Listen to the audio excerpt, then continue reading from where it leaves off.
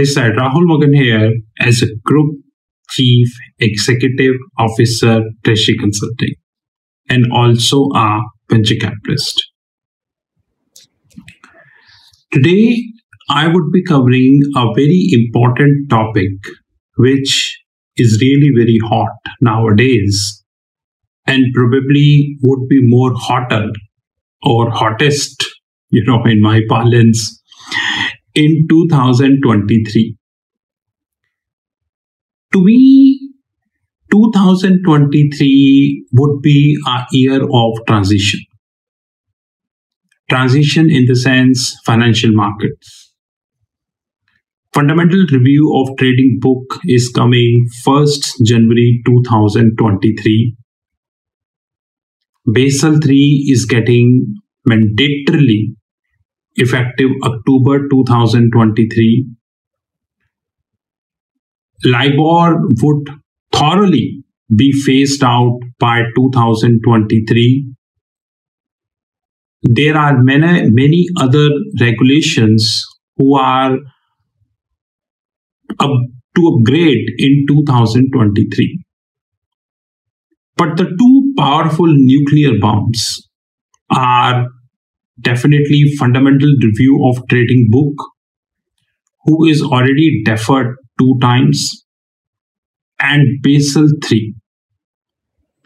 As we speak, not many countries of the world are Basel 3 compliant. Not many countries, except few like US, few European countries like Singapore, uh, Luxembourg, and few Asian countries like Singapore. Here also, everyone is not Basel 3 compliant. That is also a fact. One of the important things that coming in the picture after both of them would be live, the early adoption adoption is already always welcome, just like the world saw in case of IFRS. So the early adoption is always welcome. Is XVA. X X stands for valuation adjustment. As we speak, there are 13 XVAs, just like we have credit valuation adjustment, CVA, debit valuation adjustment, margin valuation adjustment, funding valuation adjustment, capital valuation adjustment, and many. Now, these valuation adjustments are unfortunately very, very biased. Why? We have many asset classes of the globe. We have, when it comes to asset classes, the world is having a consensus, which is FICC. FI means fixed income, currencies and commodities. In fixed income, you have hell lot of instruments. You have equities, you have bonds, you have mutual funds and whatnot. Currencies, not to mention, you have near about 189 currencies of the globe, which includes deliverable currencies and non-deliverable currencies. Commodity, you have agriculture commodity, you have gold, silver, diamond, uranium, iron ore, coal, and whatnot. And now you have crypto because Goldman Sachs few days ago did the first OTC. OTC stands over the counter trade of a crypto contract this is the public information. I don't know who is the counterparty. Probably few days after few days we have this information in the public. I let you know. But this is a very conducive news i would say for crypto that goldman done with the first otc contract. Now once we have more information in the public i would let you know about more thing because i'm planning a specific video in that regards now, when it comes to XVA, they behave different in different asset classes. So, example, today Goldman Sachs do investment banking swap with JP Morgan. Now, here they have CVA. It is not that they don't have CVA. They have DVA. They have FVA. Suppose, example, Goldman issue COCO. COCO means contingent convertibles. The same issue came to Goldman. Suppose today Goldman Sachs issue ELN, equity linked notes. There is a risk. Suppose today Goldman issue an interbank limit of 1 billion to JP Morgan. There is XVA. Suppose today Goldman take 1 billion of gold position. All these are hypothetical examples.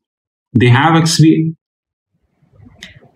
And XVA differs when it comes to prop book. Prop book means the proprietary book and the client book. Anyways, very soon FRTB is coming and lot of talks are going to happen on the social media. Treasury Consulting will bring the own views.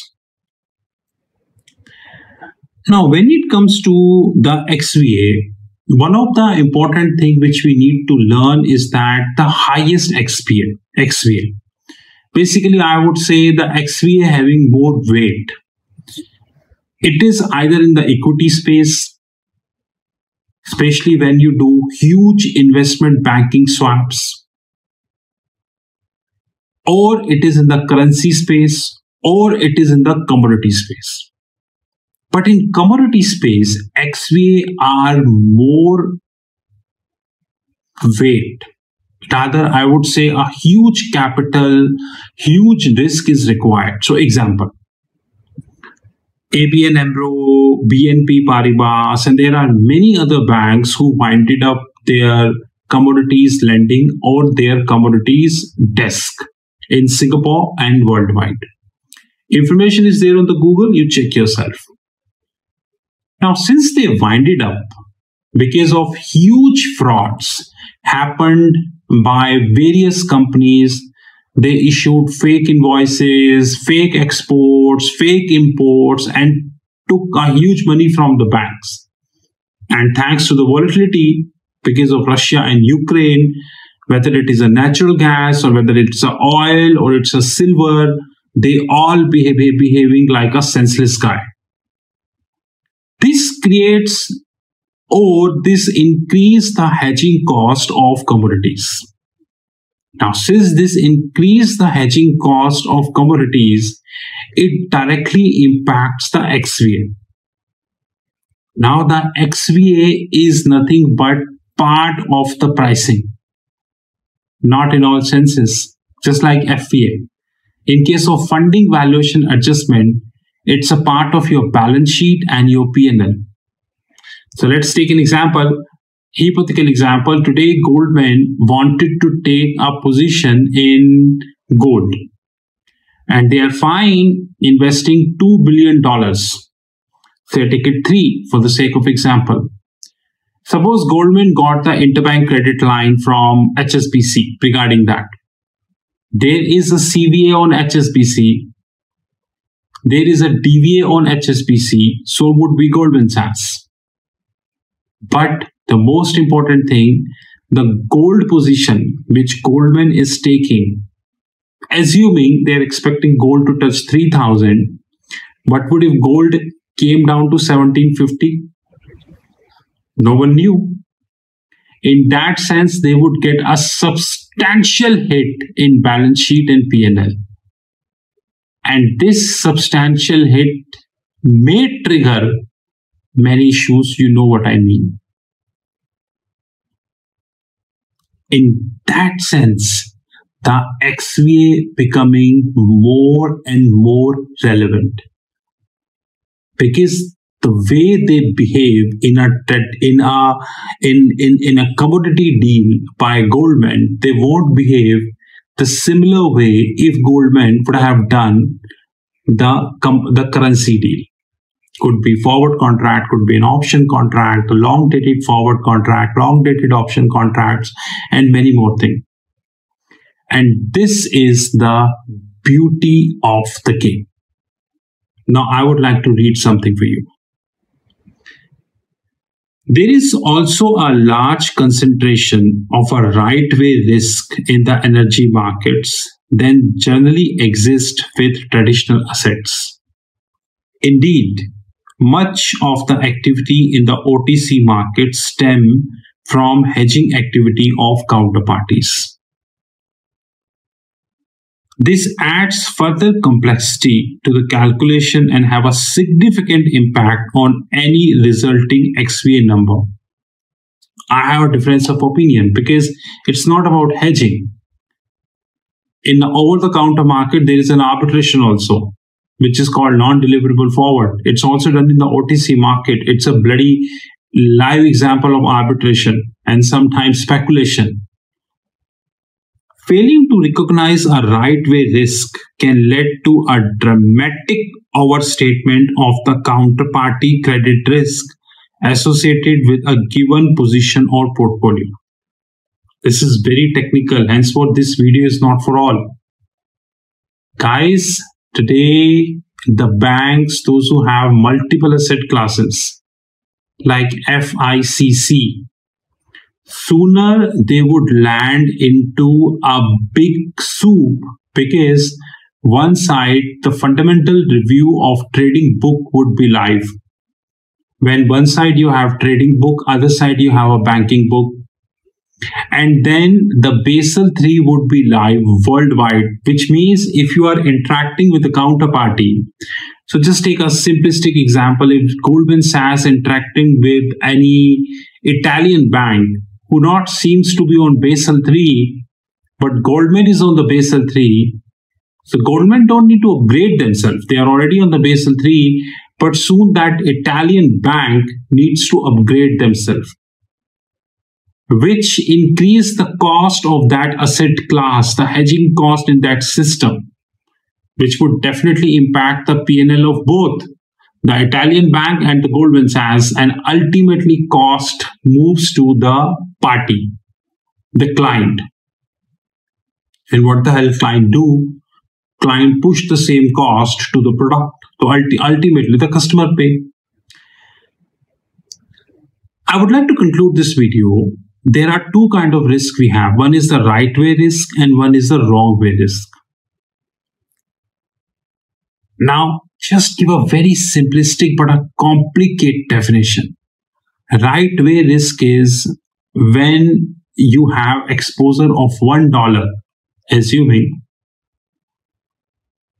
and the movement of the currency brings a conducive, which means it's a kind of linear stuff. But wrong way is non-linear. And unfortunately, if you look at the 10K of the banks, practically speaking, it is not at all, not at all possible to judge whether they are on the wrong side or they are on the right side. Take my words. Sooner or later, this XVA with the all 13 would have a deep soup for the banks. And when I speak about XVA, God forbid if there is if the volatility in the markets would continue thanks to the geopolitical factors the russian war and all these in that sense it would have a big trouble for banks and of course it would have a big trouble for systems whether they are proprietary systems designed by the banks for banks or whether they are treasury management systems, legacy based treasury management system, Murex and Calypso, or maybe others, or whether they are Excel based solvers or Excel based products. Think carefully. More such interesting videos on XVA on the cards. This is Rahul Magan from Treasury Consulting Group. You know my personal number, which is plus nine one Nine eight double nine two four two nine seven eight. Alternatively, our back office plus nine one nine eight one eight four eight five one double five. We are here to cover the topics which no one thinks to cover. Have a great time. Thank you.